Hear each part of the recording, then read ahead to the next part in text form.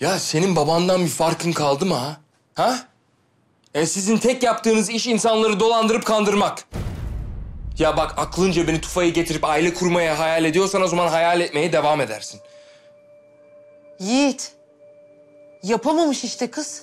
Kıyamamış içindeki cana. Bunda anlaşılmayacak ne var? Tek başına mı yaptı çocuğu? Ben ona söylemiştim.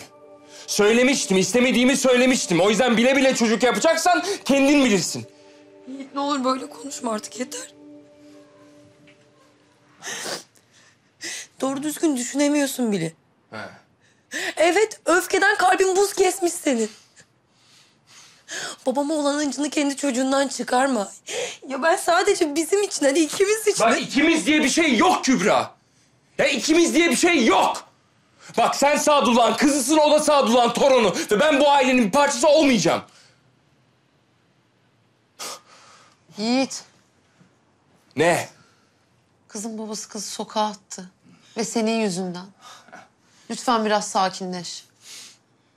Abuk subuk konuşma.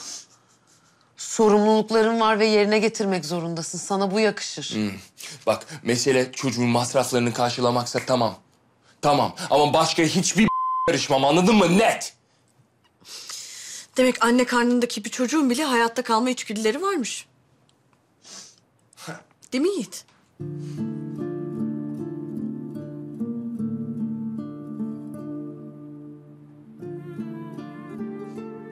Bak dalavereyle kimse kimseyi baba koca yapamaz.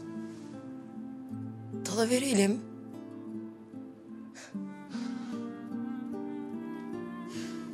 Dalavere falan yaptım yok benim. Ben sadece ona kıyamadım. Tek yaptığım bu benim kimseye oyun oynadığım falan yok.